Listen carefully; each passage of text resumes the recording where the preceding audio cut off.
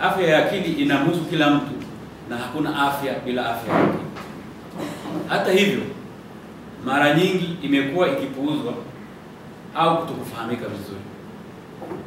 Hali hii imechangia kuwepo kwa unyanyapaa na ubaguzi dhidi ya wale wanaopambana na changamoto za afya ya akili na magonjwa ya akili.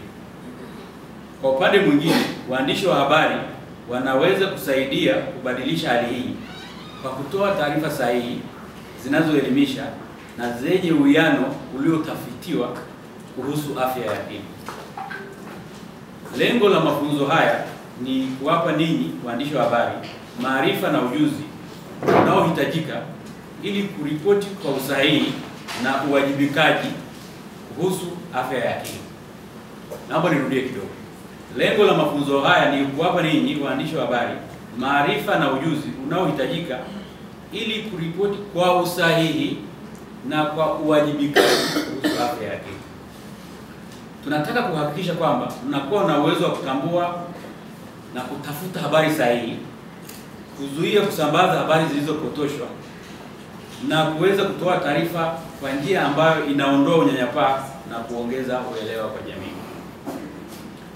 Ndugu waandishi wa habari, mada muhimu zitakazojadiliwa leo ni mada ya kwanza inaitwa self understanding. Eneo hili tutajadili kuhusu jinsi gani tunaweza kuelewa na kujitambua sisi wenyewe na kusimamia afya zetu za akili. Eneo la pili inahusu media reporting na mental health.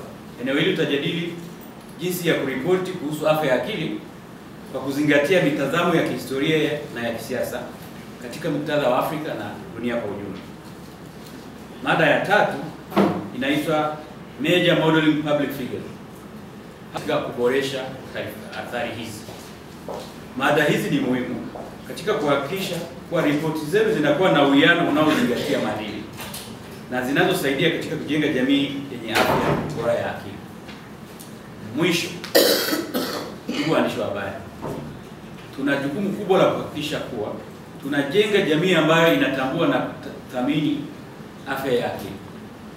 Waandishi wa habari mna nafasi ya pekee, na ninaamini kwamba kupitia mawas, mawasilisho na mijadala tutakayofanya mtapata maarifa na ujuzi wa kutosha ambao utawasaidia kutekeleza majukumu yenu kwa uwajibikaji na kwa manufaa ya jamii yetu kwa ujumla.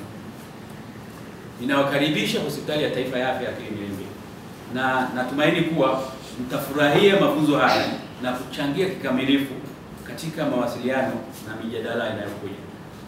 Asanteni sana kwa kunisikiliza.